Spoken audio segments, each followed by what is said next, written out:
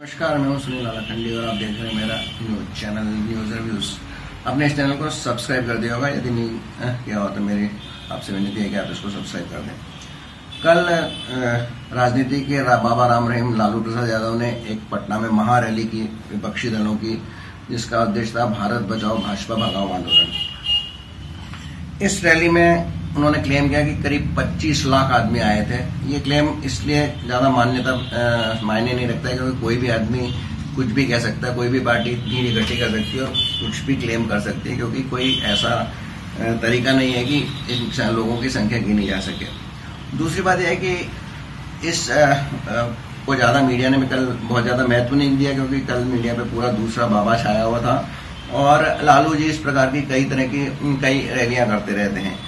पिछली रैलियाँ और इस रैलियों में केवल इतना फ़र्क था कि इस बार मुख्य भूमिका में तेजस्वी यादव थे और लालू सेकेंडरी भूमिका में थे।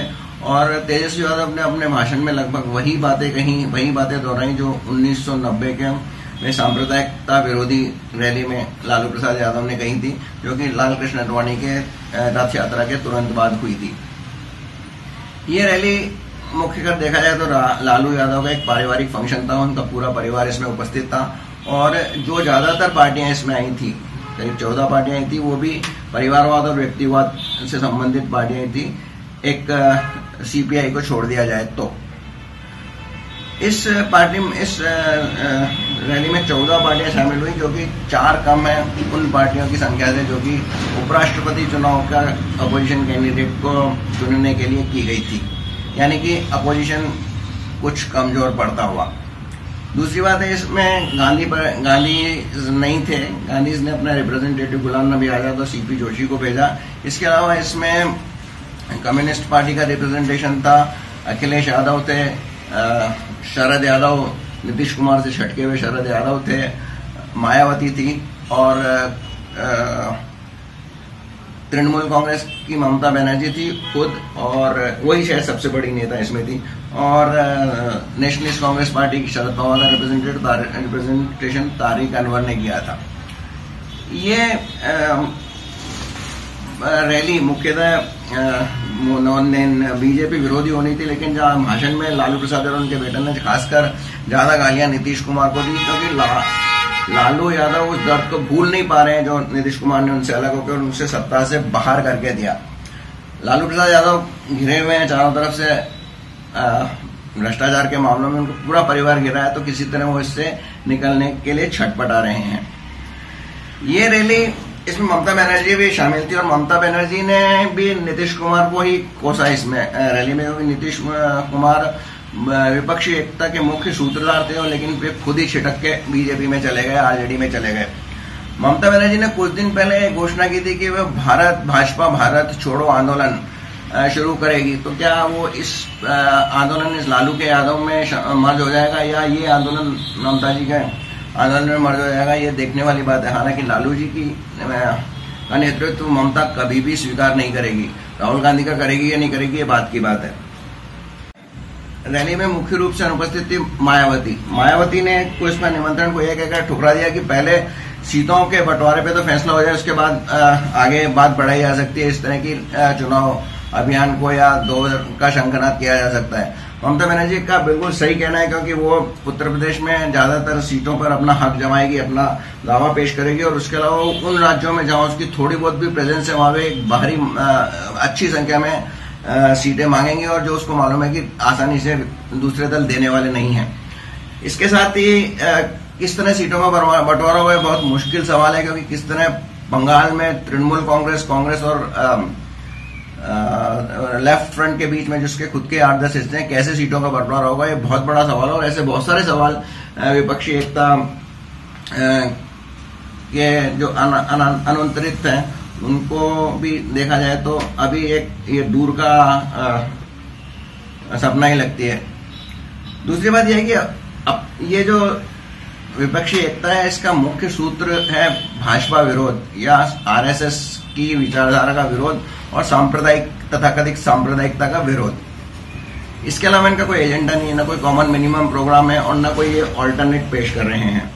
ये तो शायद उसी की पुनरावृत्ति है, जबकि सत्तर या साठ के दशक में इंदिरा विरोधी, कांग्रेस विरोधी अभियान चालू हुआ था और उसके तहत विपक्षी दल इकट्ठे हुए थे। ये पहली बार 1971 में हुआ था, जब चौगुटे के रूप में चार मुख्य विपक्षी देशों ने एक साथ मिलकर चुनाव लड़ा था। हालाँकि चारों की दिशाएँ जो आइडियोलॉजी थी, वो काफ़ी भिन्न थी।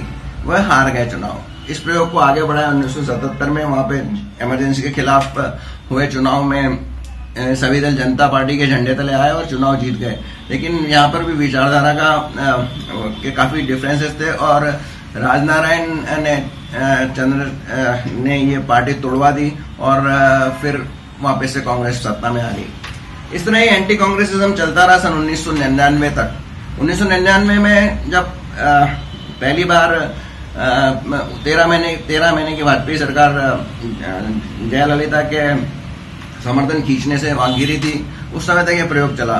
उसके बाद जो 2000 का चुनाव हुआ, उसमें अटल बिहारी वाजपेयी ने एक प्री पोल अनाउंस किया और एक देश के सामने एनडीए के रूप में एक सशक्त चुनाव के पहले ऑल्टरनेटिव पेश किया और वो चुनाव जीते और उस, वो सरकार पूरी अपने पाँच साल चली। हालाँकि एक साल पहले अटल बिहारी वाजपेयी ने अति विश्वास में चुनाव करवा दिए थे। उसके बाद 2014 में नरेंद्र मोदी के रूप में बीजेपी ने एक सशक्त ऑल्टरनेटिव दिया। देश को, उन्होंने अपने सारे बड़े दिग्गज नेताओं को, जैसे कि लाल कृष्ण अडवाणी मनमोहन जोशी, ऐसे कई लोगों लोगों को दरकिनार करते हुए एक साहस भरा फैसला लेते हुए नरेंद्र मोदी को प्रधानमंत्री का उम्मीदवार घोषित किया और उनके चुनाव, नेतृत्व में लोगों, बीजेपी ने चुनाव जीता और भारी बहुमत के साथ जीता। तो ये तो है संभव, तभी हुआ जब एक अल्टरनेटिव था और एक नेतृत्व था विपक्ष के पास में, तब जाके उन्होंने कांग्रेस को उखाड़ फेंका। आज ऐसा नहीं है, केवल मात्र बीजेपी का और आरएसएस की विचारधारा को विरोध करके और सांप्रदायिकता के नाम पर ये लोग चुनाव नहीं जीत सकते। विपक्ष को अपने पुराने नारों एंटी सांप्रदायिकता एंटी आरएसएस आरएसएस का विरोध करना और कहीं घिसा पिटा सोशलिज्म जिसके ये चट्टे बट्टे लालू प्रसाद यादव और मुलायम सिंह की समाजवादी पार्टी या कहीं छिटका हुआ दूसरा मायावती का अंश, ये सब नहीं चलेगा, इनको नया नेरेटिव देना पड़ेगा देश को। तभी जाके कुछ हो सकता है, अन्यथा 2019 में ये नरेंद्र मोदी के सामने कहीं पे भी नहीं खड़े होते हैं। इसके अलावा एक बात और इम्पोर्टेंट है जो चौदह पार्टियाँ इनमें दो पार्टियों को छोड़ दिया जाए तो ये व्यक्तिवादी या परिवारवादी पार्टियाँ हैं। इनमें अपने व्यक्तिवाद और परिवारवाद को छोड़ के सही टैलेंट में सही नेताओं को आ, सामने उभर के आना पड़ेगा और नेतृत्व में परिवर्तन करना पड़ेगा तभी जाके ऐसा कुछ हो सकता है। तभी कुछ संभव है है अन्यथा नहीं। और कांग्रेस को अपना दम छोड़ना पड़ेगा और इस बात की शेखी बजाना बंद करना पड़ेगा कि आज़ादी लड़ाई उन्होंने लड़ी है। देश की आज़ादी को सत्तर साल हो चुके हैं, दो जनरेशन चेंज हो सकती है, हो चुकी है। अब किसको ये मतलब है कि आज़ादी किसने दिलाई? आज हम आज़ाद भारत में रहते हैं और इसकी प्रगतिशील कोई एजेंडा लाएँगे, तभी कांग्रेस का उत्थान अब संभव है। अन्यथा नहीं, और उनको परिवारवाद बिल्कुल छोड़ना पड़ेगा। राहुल गांधी सक्षम नहीं है और उनको दूसरे लोग नेतृत्व, हो सकता है चुनाव के नेतृत्व बढ़ने क्योंकि वो योग्य नहीं है। ऐसा अभी तक का आंकलन है। तो इसी विचार के साथ मैं आपको छोड़ जा रहा हूँ। धन्यवाद। आपने फिर से मुझे दिए तक झेला